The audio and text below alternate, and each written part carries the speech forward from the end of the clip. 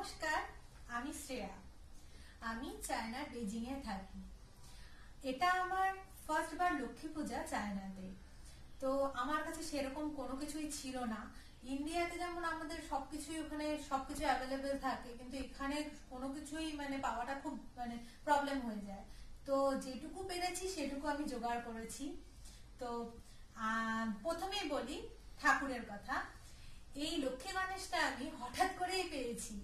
আমি এখানে ইন্টারন্যাশনাল একটা ফেয়ারে গেছিলাম এক্সপো যেটা, সেখানে গিয়ে হঠাৎ করে ইন্ডিয়ান যে কাউন্টার ছিল ওখানে, সেখানে আমি লক্ষ্মী গণেশটা পেয়েছি কাঠের আর ওখান থেকেই আমি এই ঘণ্টা আর প্রদীপটা কিনেছি। আর বাসনটা আজকে কিনলাম। এই বাসনটা হচ্ছে মানে হাঁড়ি হিসেবে মানে খিচুড়ি বানানো বা ভাজা, কারণ আমার এখানে কোনো বাসনই ছিল না ঠাকুরের বাসন। আর কিছু কিছু এখানেও কিছু জিনিস আছে, এই যে। আর এখানে কিছু হাতা, খুন্তি রেখেছি, আর এই ফলমূল কিছু কিনেছি যেগুলো মানে লাগবেই। কিছু ফল রয়েছে। পাঁচ ফল আমাদের যেমন দিতে হয়, সেরকম ভাবেই কিছু কিছু অল্প অল্প করেই জোগাড় করতে পেরেছি আমি। আর এখানে যেহেতু দাঁড়ান। এখানে যেহেতু মিষ্টি পাওয়া যায় না, আমাদের লক্ষ্মী পূজা, কোজাগরি লক্ষ্মী পূজায় মোয়া, মুরকি এগুলো দিতে হয়। তো সেই জন্য আমি কিছু গুড় পেয়েছিলাম আর কিছু তিল পেয়েছিলাম। তো চেষ্টা করব মানে তিলের নাড়ু বা কিছু বানানোর। আর পায়েসের জন্য দুধ আছে, আর ইন্ডিয়া থেকে আমার গোবিন্দভোগ চাল এনেছিলাম। তো অন্যদিন রেসিপিটা আমি শেয়ার করব।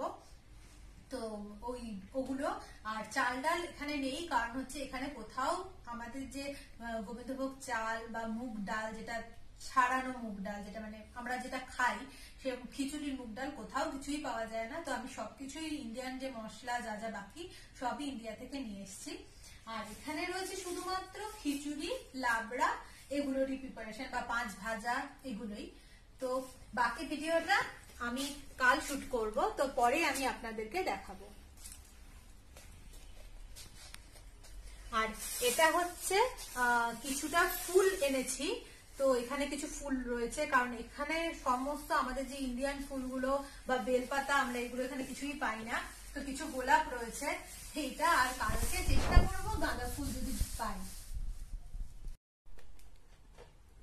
আমি পাঁচ ভাজার জন্য এই সমস্ত সবজি কেটে নিয়েছি। আর এটা খিচুড়ি তৈরি করার জন্য। আর হচ্ছে এগুলো হচ্ছে সমস্ত লাবড়া তৈরি করার জন্য। আমি এখানে ব্যবহার করেছি মূলো, বাঁধাকপি, আলু, কুমড়ো, গাজর, বেগুন। আর কিছু ফুলকপির ডাঁটা ছিল সেগুলো আমি দিয়ে দিয়েছি। আর খিচুড়িতে দিচ্ছি আমি গাজর, আলু, বিনস আর ফুলকপি। আর এখানে যে সমস্ত ভাজাগুলো আছে সেগুলো হচ্ছে ফুলকপি, আলু, বেগুন, বরবটি আর কুমড়োটাকে আমি যেরকম যেরকমভাবে ভাজা বানাই, সেরকমভাবে আমি কেটে নিয়েছি সমস্ত। আমি যেহেতু খুব অল্প রান্না করব, তাই জন্য আমি এতটুকুই জোগাড় করলাম। আমি এখন ভোগে সব রান্নাগুলো করছি।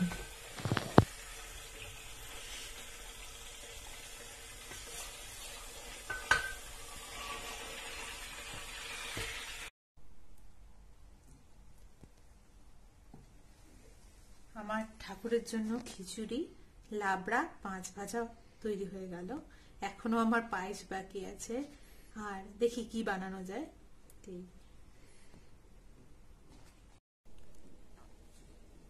আমার হাজবেন্ড পার্থ এখন মালা গাচ্ছে। কারণ আমি আজকে খুবই বিজি ছিলাম।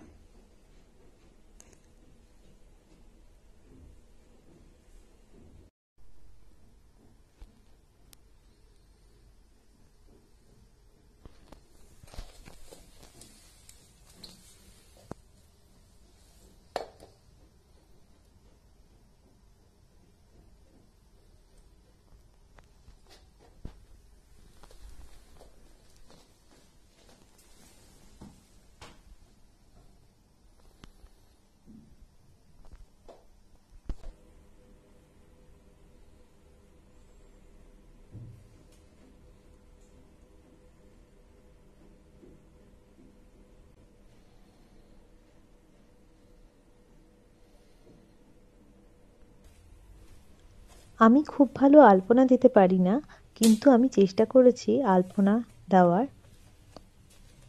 আর আমার সব কিছুই ঠাকুরের প্রায় সাজানো হয়ে গেছে এবং ভোগ রান্না করাও কমপ্লিট হয়ে গেছে।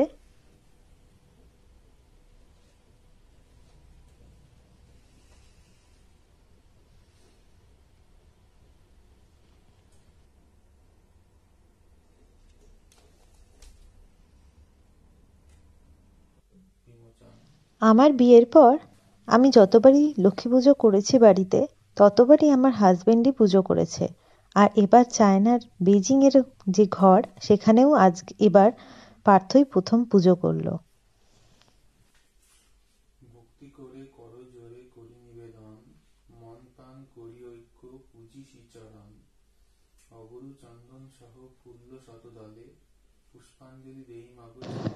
এখন আমি আর পার্থ দুজন মিলে পুষ্পাঞ্জলি দিচ্ছি।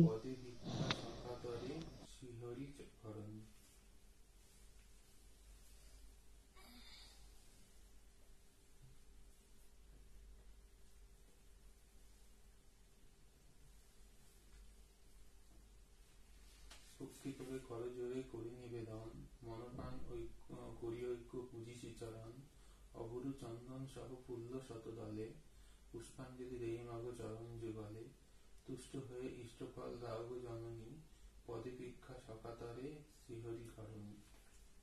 আমি এখন আশ্বিন মাসে লক্ষ্মীর পাঁচালি যেটা কোজাগুড়ি পূর্ণিমা সেটা পাঠ করব।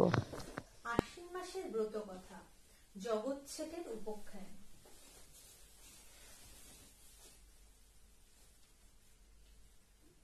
যদু শেঠ নাম ধরে দিল্লিতে নিবাস পত্নী তার পদ্মাবতী নামিতে প্রকাশ জগৎ শেঠ তার পুত্র হয় বিত্তবন্ত দিল্লীশ্বর ডাকে তাকে নিজে যে একান্ত। আমি চায়নার বেজিংয়ে যেখানে থাকি সেখানে আজ কোজাগরি পূর্ণিমার লক্ষ্মী পূজা এইভাবেই করলাম। নমস্কার।